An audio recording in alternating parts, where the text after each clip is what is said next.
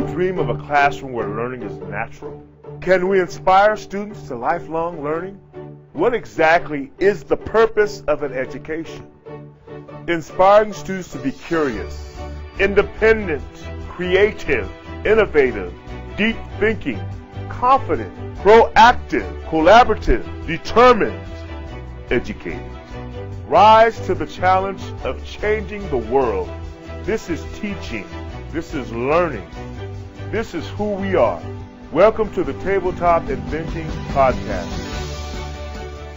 How can a teenager from a good, decent, wonderful family end up making a mess out of their life by the age of 15? What is the path from poor teenage choices to a life of purpose and meaning? Where can parents look for some hope if their teen has taken a very bad path? Listen in for the hope filled answers in today's podcast. Hey there, Innovation Nation. I got to talk to one of the most amazing individuals on today's podcast. If you like underdog transformation stories, then today's episode is tailor made for you. And I think you'll agree with Norman Vincent Peale, who said, People become really quite remarkable when they start thinking they can do things. When they believe in themselves, they have the first secret of success. Confidence, or believing in yourself, as the quote says, radically shifts what is possible. Belief, for or against our own ability, can have dramatic effects on what we believe to be possible. As individuals and even as a society, we often believe something to be impossible, such as running a four minute mile. No documented cases of a mile being run faster than four minutes had occurred until an English runner named Roger Bannister broke that barrier on May 6, 1954. For thousands of years, we have run and competed in running games. Yet for some reason, in the years just following Roger Bannister's record breaking run, many athletes began to run a four minute mile. And now it is common for a professional male middle distance runner to be able to run a four minute mile. Why the sudden change? Truthfully, we don't know exactly what causes achievement. But we do know that limiting beliefs can have a significant effect. For this reason, we work very hard to remove limiting beliefs as students tackle challenges in our Inventors Bootcamp every summer. Students are encouraged to try new things and notice the outcomes, because trying a new activity often leads us to new thinking. In fact, it turns out that the secret sauce for Roger Bannister seemed to have quite a bit to do with a new type of training that he began around that time. He noted significant changes in his running times after some of his training adjustments and continued in that direction. This approach of varying the inputs and observing the outputs is just the practical application of the scientific method, which is in high regard during Inventors Bootcamp. If you'd like to find out more about Inventors Bootcamp, visit inventingzone.com Today, I get the privilege of introducing you to one of the most remarkable individuals ever to be in our podcast, John Griffith. John's is truly a story of tragedy and triumph. I won't spoil the plot, so join me as we go on a journey through innocence and tragedy to great hope. So, my guest today is John Griffith. John engages youth in the outdoors and specifically in the conservation movement and he's working to bring diversity into this movement. Uh, a little bit ago, he wrote a book called Totem Magic Going Mad. It's an eco fantasy designed to hook kids into eco conservation. So, John, tell us a little bit about how you got into this.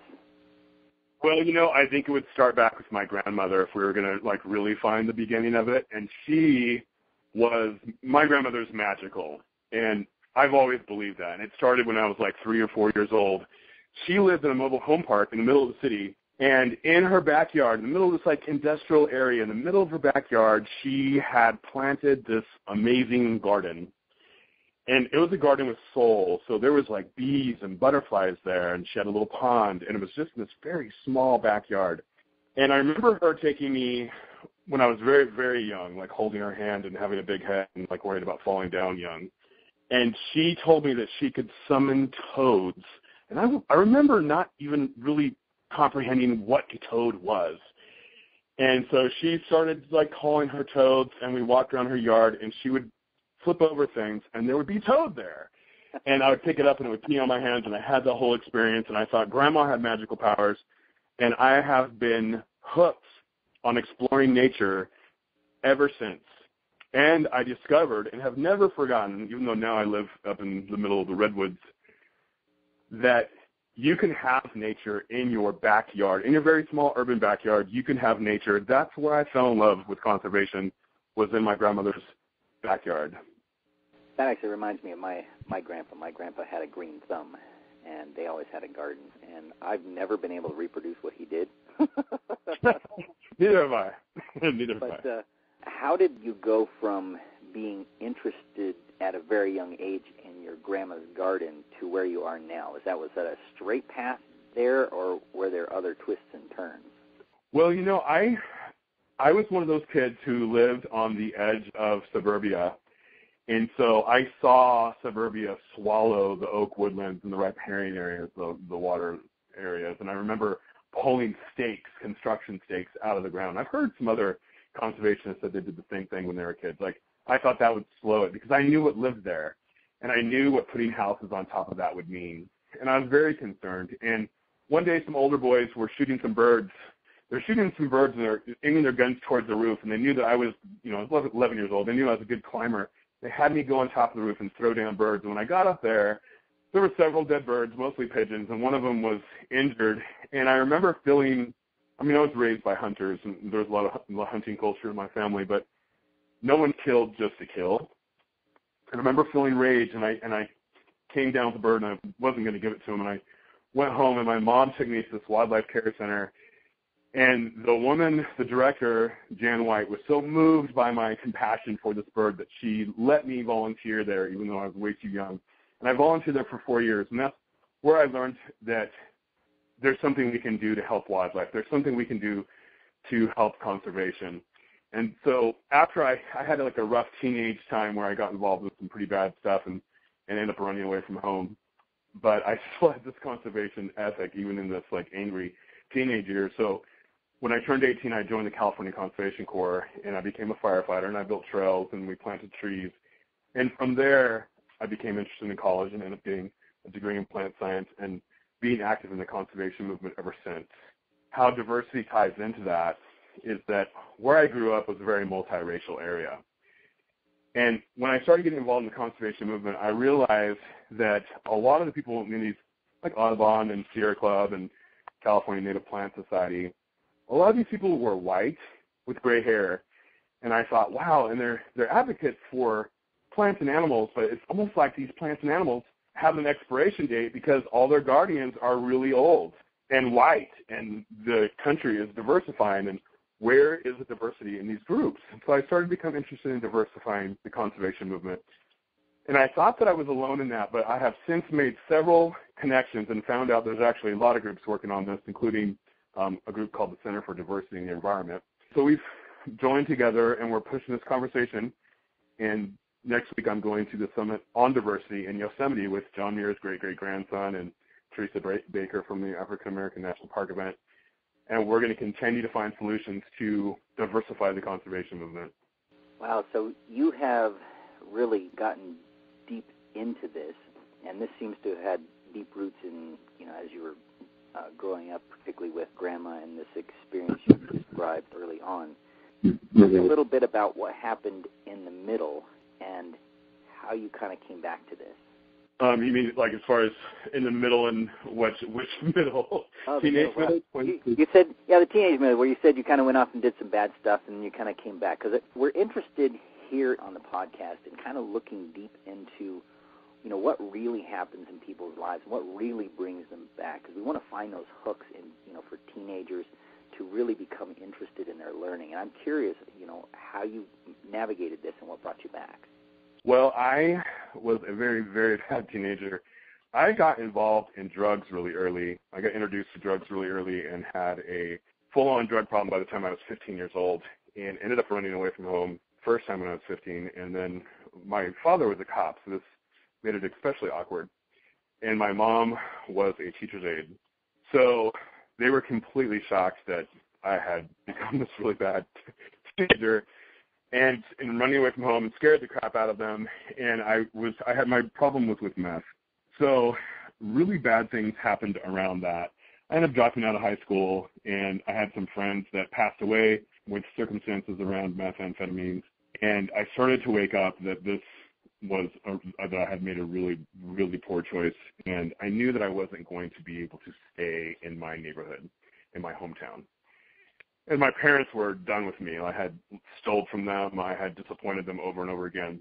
And so I heard about the California Conservation Corps through a friend, and I had that early interest in conservation. I really wanted to connect with nature. I kind of felt like that was the one thing that was pure and honest in my life was my interest in nature.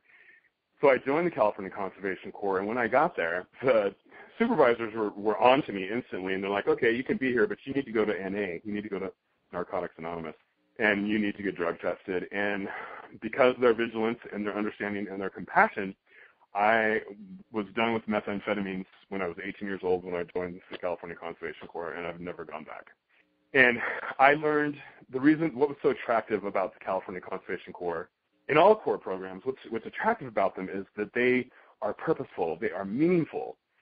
So I couldn't have just gone to work at Denny's and earned some money and everything would have been okay. I was way too wild for that. I needed something meaningful. I needed to be a firefighter. I needed to build trails. I needed to help heal the earth. And so doing that was super empowering for me. And as my parents saw me after they believed that I'd really stopped doing drugs and after they saw that I was a firefighter. And then I got my GED in the in the corps program. Corps programs help people get their GEDs if they had dropped out of school or their diplomas. Like now we have diplomas.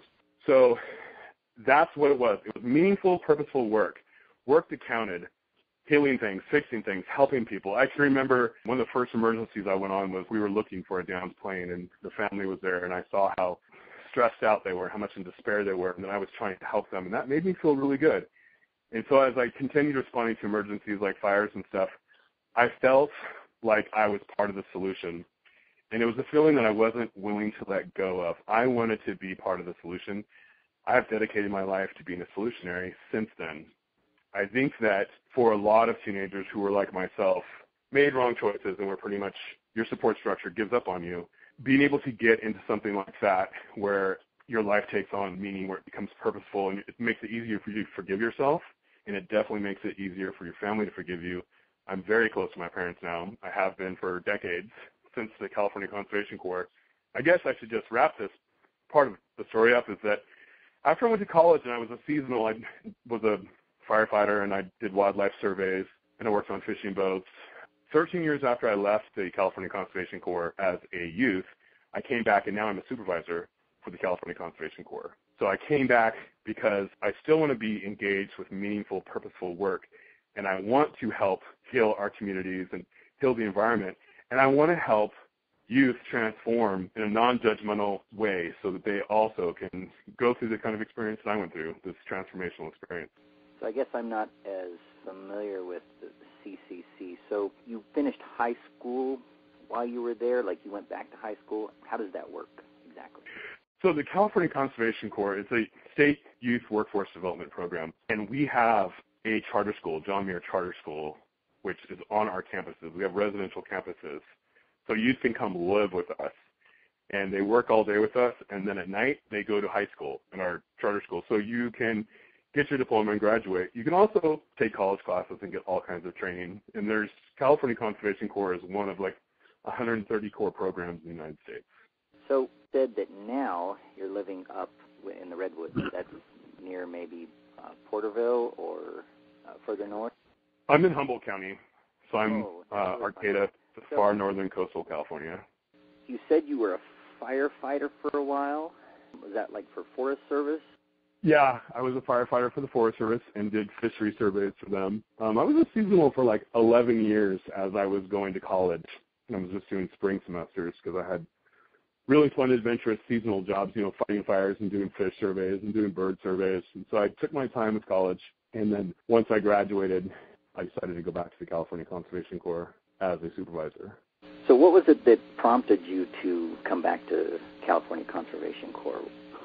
Well, I had thought about it. Like the CCC was a lifesaver for me because of how much it helped me get off drugs and get a GED and get my connection back with my family. And so it always had the sacred place in my my mind. in graduate school at HSU, and I was really worried about the amount of loans I was taking out. And then my advising professor got into an argument with the school and ended up leaving. And so I was like kind of lost. And I was feeling lost. And at that time, there was a temporary opening in the CCC, and they invited me to apply for it. I applied for it, and ended up getting it. And I thought about just doing it temporarily, but I fell so in love with it. It's it's a magical job where you're helping a lot of times youth from distressed communities, but not always, but probably half or more of our youth are from distressed communities. And so we're often working on projects where we're healing something. So we're doing salmon habitat restoration, helping an endangered fish, or we're doing coastal dunes restoration, so we're helping endangered plants. So we're healing the environment while we're also healing youth. And so it's a very powerful, awesome job that has some amazing rewards, you know, involved with it. So once I got in as a supervisor, I decided that's what I wanted to do for the rest of my life. And so I'm still here 13 years later. So tell us a couple of stories of things, of interactions or particular youth that came through the program that uh, just stick out in your mind as, you know, uh, opportunity, you know, unlocked kind of experiences. You know, there's there's millions of them. I think offhand. So did you see? I was in a viral video with a couple of my corps members. I'm not sure if you're aware of that. I looked a couple of the videos up, and we'll probably link those up in the show notes because I think I think they're awesome in the first place. But I, I think it would be good for our, our listeners to go look, check that out. But yes, I saw a couple of them. So most of them are corps videos. One of them went viral, and there's like five and a half million hits on it. And the two corps members in that in that video, one of them I'm still really close with because he ended up settling in this area. And there's a lot of core members that are like him. His name's Antoine. He came to our program from a distressed community and from a single parent household and wasn't sure what he was going to do. And where he was growing up, there was a lot of pressure to be in a gang, pressure to do drugs, not a big support network. So he in the CCC and, and he was became a very good worker and got used to being outdoors. And he had grown up in urban Oakland, and so he hadn't spent a lot of time outdoors. So we had to work through, you know, well, work is probably the wrong word. I got to be there for the first time of a lot of his nature discoveries, and so he like had never had close contact with snakes and bears and things like that. So that was that was fun, and that's always fun to be there. You know, to be there for the first time discovery because a lot of the urban corps members like they've never seen a snake in real life, they've never seen a bear in real life, and so like I love being there for those discoveries. Not just so much the scary ones, as much as just I'm like bringing a salamander to me and saying, "What kind of lizard is this?" I'm like, that's not a lizard, that's an amphibian. Look at it. How is it different? And we start, I start asking questions about it. They really, really look. And I love that. I love being there for people's first time discoveries in nature.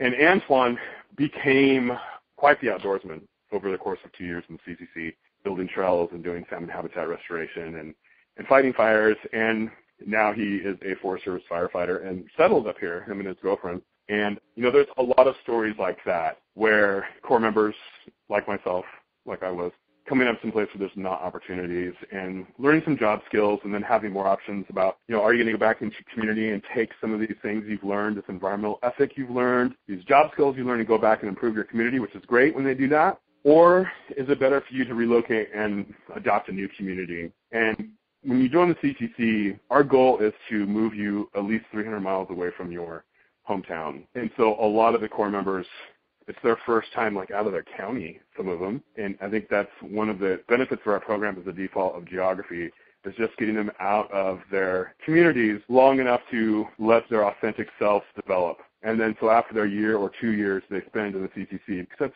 generally how long they stay in, three years max, and that's very few of them get to stay for three years. And when they leave, they leave with up to eight thousand dollars in scholarships for one year, and they can go back to their community and go to college, or they can stay up here with us. And I think that that's that's what's different about corps programs from other jobs that youth might be engaged in is that we help them travel and get out of their communities and see if they want to go back. There does seem to be a correlation between having the experience of being away from home far enough to realize that the world might be different than you think. Yeah, it was really good for me to get out of my community and never go back. But sometimes it's awesome when they do go back because a lot of them go back with this environmental ethic and they take that back to a very urban place and help to create you know, organic community gardens and volunteer to help daylight streams or plant trees. And so either way, we don't want it to be a terminal experience where they come and participate in conservation projects for a year and then that just goes away. We'd like to create civic ecology stewards, stewards who are interested in fixing broken places, be it in their own communities or a community they adopted. So tell us a story, if you can think of one, about one of these kids who came to the CCC from what you call a distressed community and then learned some really valuable things, kind of had a metamorphosis, and then went back to their community and some of the things that they did when they went back. There's many such stories, but I think the one that stands out is a kid named Ben who came to us from Long Beach and was deeply involved in gangs.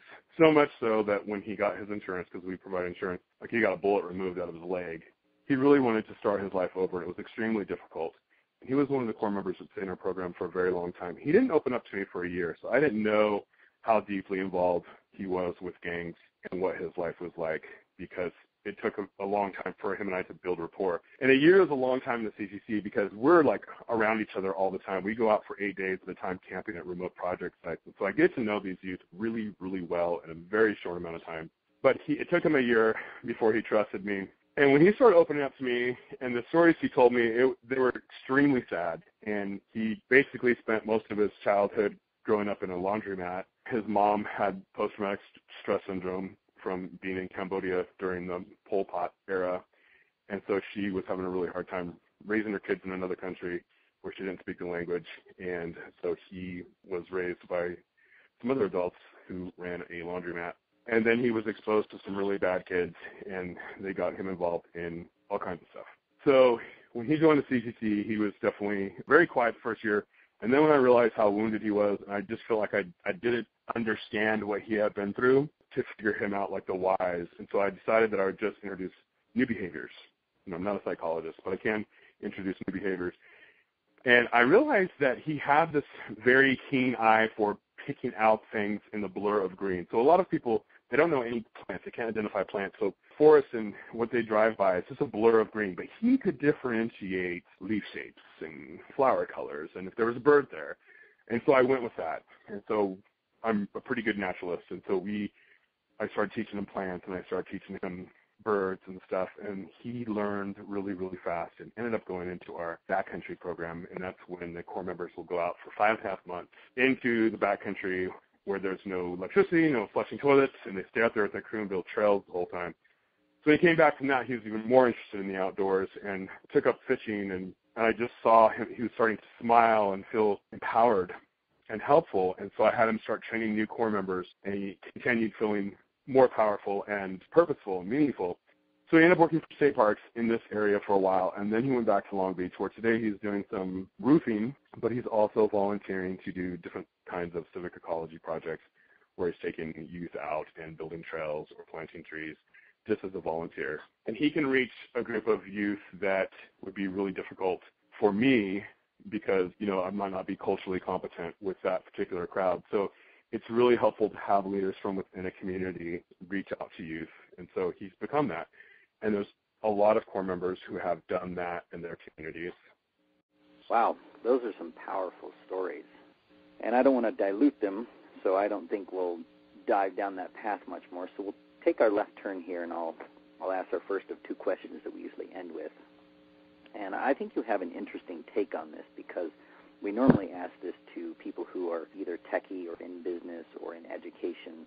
So I'm interested in your perspective on this we're now in a digital age. I mean, there, there's no way for us to go back or unsee or undo what we've done. You know, we have cell phones and we have computers and the internet and Wi-Fi, and and there's some great things about this, but you know, there may be some drawbacks as well.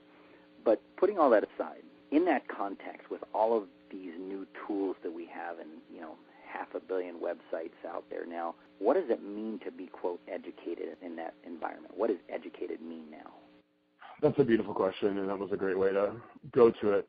You know, it's interesting is I'm I'm of the age where I can remember pre-internet, and so and now I work with youth who have always known the internet, have always known technology, and so I do a lot of comparisons just because it's interesting, especially if you read Richard Louv's book, Last Child in the Woods, he brings up hybrid minds.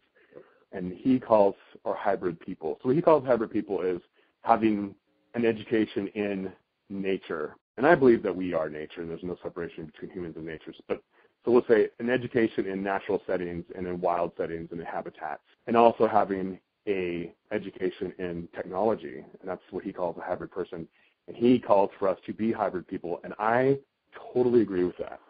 I think that being an educated person, there's less need to memorize things like was taught to me when I was younger, because now everybody has an Encyclopedia Britannica in their front pocket instead of like, you know, shelves at their grandma's house or something.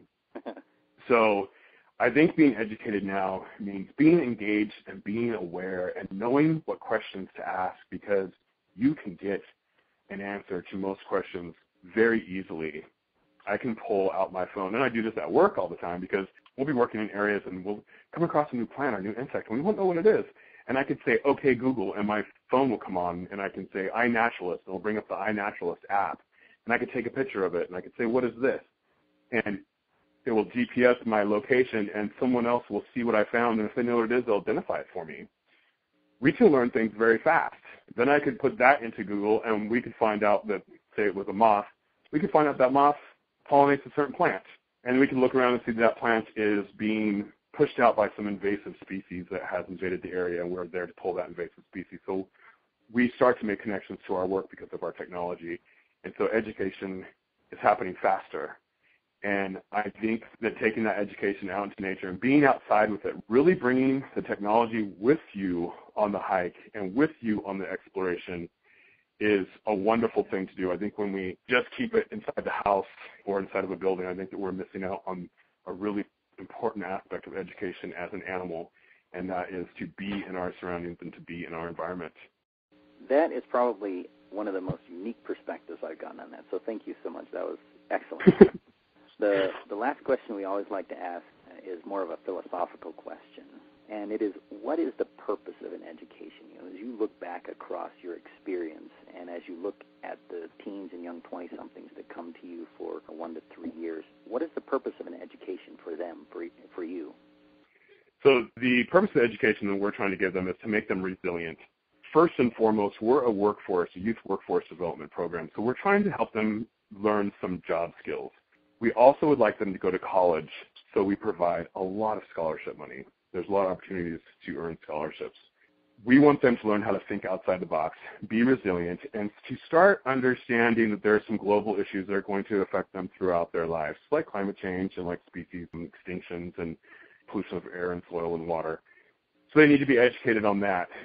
But with this generation and just kind of like not having a crystal ball to see what's going to happen with the economy, we're trying to educate them that they should try to get a combination of hard skills and soft skills because they might need both. We try to teach them, you know, some agricultural background, some forest background, and we also encourage them to utilize their scholarships to get some technical background. So that's kind of where we come, the way we approach education is to try to become resilient and learn stuff that's going to benefit your community and you in soft skills and hard skills. Excellent. Well, I don't think we can end better than that. So I'm going to stop us right here, and I'm going to ask okay. what's the best way for our audience to connect with you and with what you guys do? No matter where your listeners are, there is probably a corps program. And the best way to learn about corps programs, and if there's one near you, is to go to the Corps network, C-O-R-P-S, network.org, and you can find all kinds of corps programs all over the United States. If they're interested in the California Conservation Corps, our website is www.ccc.ca.gov.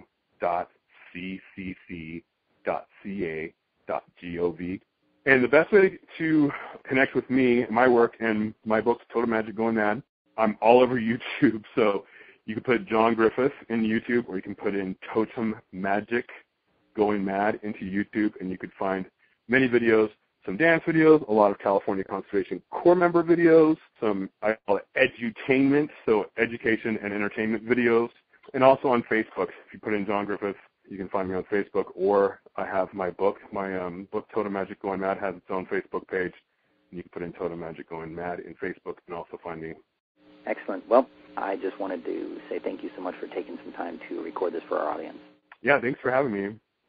If you've been enjoying the conversations and insights here on the podcast, share it with a friend. Great ideas demand to be shared. You can also help fellow parents and educators by subscribing to the Tabletop Inventing podcast in iTunes, leaving a rating, and writing a review. If you use Android, subscribe, leave us a rating, and write a review in Stitcher. Links to subscribe can be found at www.ttinvent.com slash podcast. Contact us, and we'll think through the comments and answer your questions here in the podcast. And be sure to let us know if you'd like a shout out or to remain anonymous. You can share your comments and questions at www.ttinvent.com slash podcast or by emailing us at podcast at ttinvent.com. Let's discuss your thoughts and questions. Join us again next time when we will again seek to answer the question, what is the purpose of an education? And as educators, how do we awaken the inventor in each of our students?